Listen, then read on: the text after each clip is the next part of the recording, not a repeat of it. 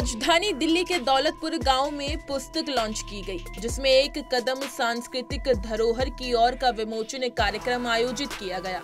इस पुस्तक में दिल्ली के गाँवों के इतिहास और संस्कृति का वर्णन किया गया है और बताया गया है कि आने वाली पीढ़ी दिल्ली के गाँवों के इतिहास को ना भुला पाए, इसलिए ये पुस्तक कितनी ज़रूरी है।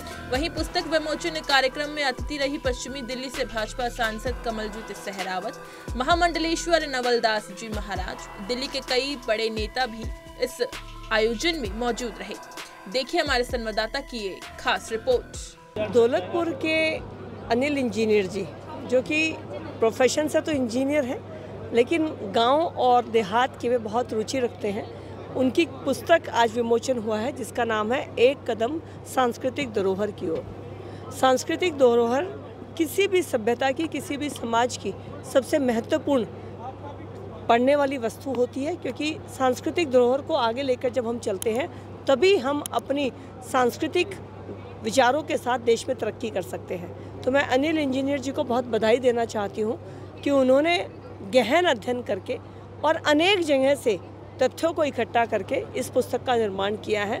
और इस क्षेत्र की सांस्कृतिक धरोहर किस किस तरह से यहाँ तक पहुँची इस पूरे बारे में उन्होंने इस पुस्तक का विमोचन किया है। आज इस मंच के माध्यम से लगातार आज की संस्कृति की बात की जाती भारतीय संस्कृति की बात की जा रही थी तो ऐसे मौके पर इस पुस्तक का विमोचन होना कितना महत्वपूर्ण होता है? भारत एक प्राचीन देश है जिसका अगर हम सांस्कृतिक चाहे शिक्षा में बात करें चाहे हम संस्कृति में बात करें एक पुरानी धरोहर है।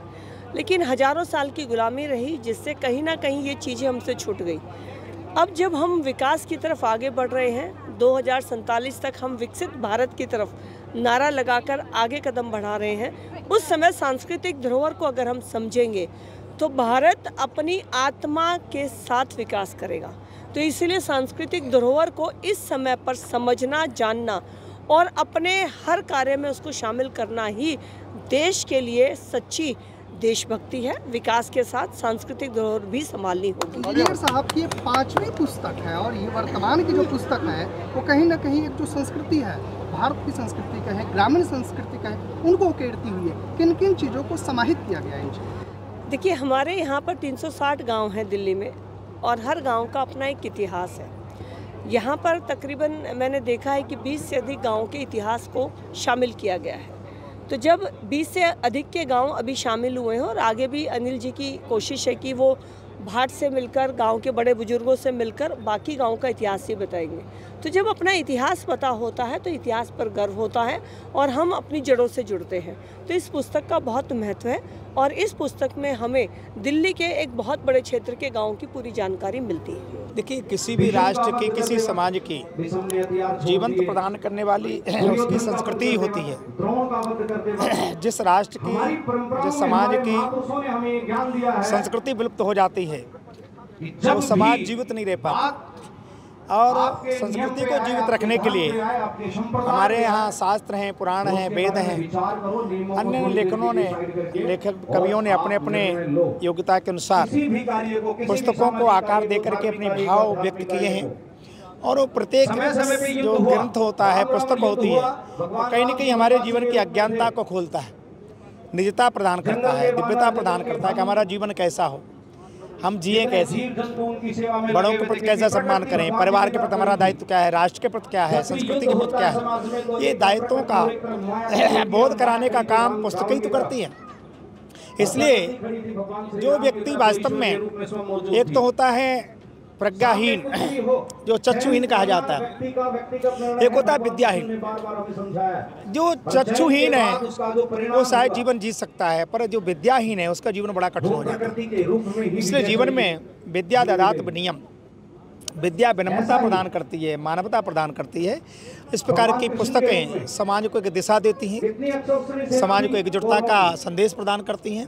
और मुझे लगता है जिस प्रकार से उन्होंने लिखा है एक कदम संस्कृति की ओर। तो आज आशा जगत के आपाधाप में कहीं ना कहीं हम संस्कृति समाज को विलुप्त करते जा रहे हैं छोड़ते जा रहे हैं। ऐसे पुस्तकों के माध्यम माध्यम से अध्ययन करने से कहीं ना कहीं हमें समाज के प्रति संस्कृति के प्रति राष्ट्र के प्रति हमारा कर्तव्य क्या है उसका बोध होगा। अनिल जी धन्यवाद के पात्र हैं कि उन्होंने इस प्रकार की पुस्तक का रचना की है। आपने भी संस्कृति की बात कही और इस पुस्तक में भी संस्कृति की बात कही जा रही है कितना महत्वपूर्ण हो जाता है आज के समय में ऐसी पुस्तकों का विमोचन। देखिए आज वास्तव में पिछले 20 वर्ष में जितना वैचारिक हमारा पतन हुआ है उतना शायद पिछले 100 वर्ष में नहीं हुआ हुआ क्योंकि ये यंत्र युग और अर्थ युग आ गया। इसलिए अर्थ की प्रधानता हो गई संबंधों की प्रधानता कहीं ना कहीं विलुप्त हो गई। तो ऐसे अवसर में जब संबंध कहीं विलुप्त हो रहे हैं तो मुझे लगता है ऐसी पुस्तकें संबंधों को प्रकट करती हैं और लोगों में कहीं ना कहीं संबंध के प्रति एक अपनत्व का भाव प्रकट करती हैं। आज के समय में समाज को संदेश देने के लिए इस प्रकार की पुस्तकों की आवश्यकता है। ये एक कदम सांस्कृतिक धरोहर जो पुस्तक है, ये हमारे दिल्ली देहात के और दिल्ली में समाहित 360 गाँव के एक नजफगढ़ क्षेत्र के कुछ गाँवों का इतिहास इसमें संकलित किया गया है। हम बचपन से सुनते आए थे कि जो ये गाँव की जो हमें सूबेदारियाँ हमारे पूर्वजों को मिली है, वो हमारे सामरिक सुकृत्य के कारण हमारे बुज़ुर्गों को इनाम के तौर पे मिली थी। बहुत लंबा इतिहास है। बड़ा संघर्ष दिल्ली के ऊपर जब भी आक्रमणकारी आए हैं तो सबसे पहले उसका मुकाबला अगर करने की किसी ने कुवत और किसी ने हिम्मत दिखाई थी तो वही आसपास के गाँव की सरदारियों ने दिखाई थी। इसी से खापुर पंचायतों का निर्माण हुआ और इसी से धर्मांतरण रोकने का कार्य हमारे इन आसपास के गाँव ने कुर्बानी दे रोकने का कार्य किया है। आने वाली पीढ़ियाँ अपने पूर्वजों के इस सुकृत्य को जान सकें और अपने इतिहास से आने वाली पीढ़ियाँ कुछ सीख सकें, इसी मकसद को लेके इस पुस्तक का हमने संकलन करने का कार्य किया है। भविष्य में जितने भी और गर्भ में हमारा इतिहास छुपा है 360 गाँव का और इसके आसपास में उन गाँवों का जिनका स्वतंत्रता आंदोलन से लेके धर्मांतरण रोकने तक जो संघर्ष रहा है जिन्होंने जो कुर्बानियाँ दी हैं आहूतियाँ दी हैं उसको संकलित करके आप भविष्य में आने वाली पीढ़ियों को अपना इतिहास की नॉलेज गेन कराने के लिए उनको जागरूक करने के मकसद से हमने इस पुस्तक का गठन किया है इस पुस्तक को संपादित किया है। मैं उम्मीद करता हूँ कि आने वाली पीढ़ियाँ इससे सबक लेंगी और अपने पूर्वजों के प्रति अपने इतिहास के प्रति सदैव जागरूक रहेंगे। आप अनिल जी क्या कहेंगे इसे एक इंजीनियर हैं मैं पांचवी पुस्तक है कहाँ से प्रेरणा मुझे पुस्तक की लिखने की प्रेरणा अपने पारिवारिक पृष्ठभूमि से मिली। मैं एक किसान होने के साथ साथ एक शिक्षाविद परिवार से संबंध रखता हूँ। मेरे ताऊश्री मेरे पिताश्री मेरी माताजी सब शिक्षा के क्षेत्र से जुड़े हुए थे और राष्ट्रीय स्वयंसेवक संघ से मैं बचपन से उनके उस डिसिप्लिनरी माहौल में, उस अनुशासनत का माहौल में मैंने शिक्षा ग्रहण की है। इंजीनियरिंग के साथ साथ हमारे बुज़ुर्गों ने जब अपने उन शहीदों के प्रति जानने की कोशिश की जिसको इतिहास में स्थान नहीं मिला, तब वो अक्सर कहा करते थे कि भाई कोई हमारी इन किसान जातियों में कोई ऐसा शख्सियत पैदा हो जो इन, जो गुमनाम शहीद हैं। एक तरह से जिनका लोग नाम नहीं जानते, उनको एक तरह से संपादित करो, संकलित करो, ताकि भविष्य की पीढ़ियाँ इन ग्रामीण पृष्ठभूमि में बसने वाले लोग इस अपने इतिहास को जान के देश के नवनिर्माण में और देश को विश्व गुरु बनाने की तरफ़ अग्रसर हो सकें, इसी मकसद के साथ मैंने एमए हिस्ट्री से किया और अमर स्वतंत्रता सेनानी अठारह सौ सत्तावन के महानायक राव तुलाराम और उसके सभी साथियों के विषय में जानकारी हासिल की और मैंने पीएचडी की डिग्री। हिस्ट्री में और इंजीनियरिंग के साथ साथ मैं रेलवे विभाग में इंजीनियर रहा।